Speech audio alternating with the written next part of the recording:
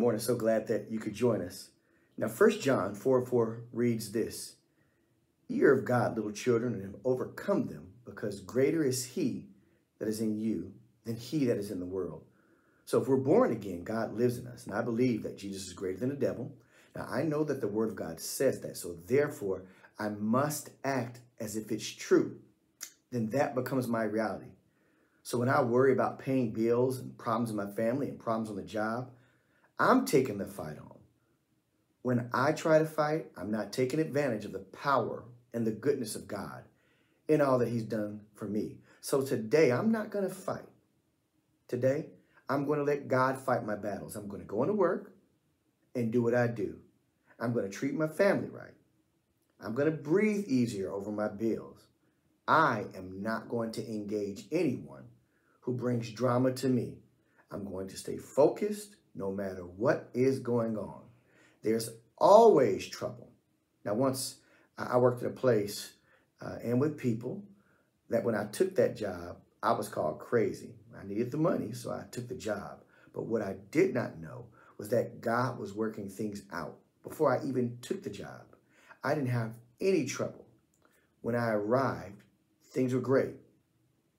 Then I started to make trouble for myself. I started to listen to what people were saying, and I was watching what people were doing, and listening to rumors and threats of my job, so and so, and so and so, and so and so.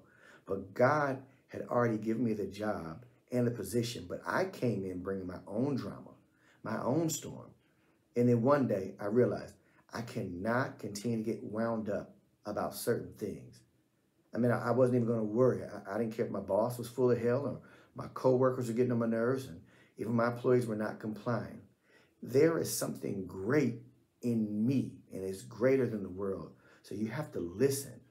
We've overcome these things. Let God be in the front today. He already is. Hand over the steering wheel and just have a good day. Don't get involved in anything that makes you less than great. Be on time. Do your work. Hold your tongue. Close your ears. God has this. And so we confess together today. Let's confess together that we refuse to battle. The battle's not ours, but it's God's. He is God, and we have to ask him to go to work on our behalf. We know that his word is true, and we have to act like that. Now, if we're born again, we know that God is in us, and we don't have to battle anyone or anything today.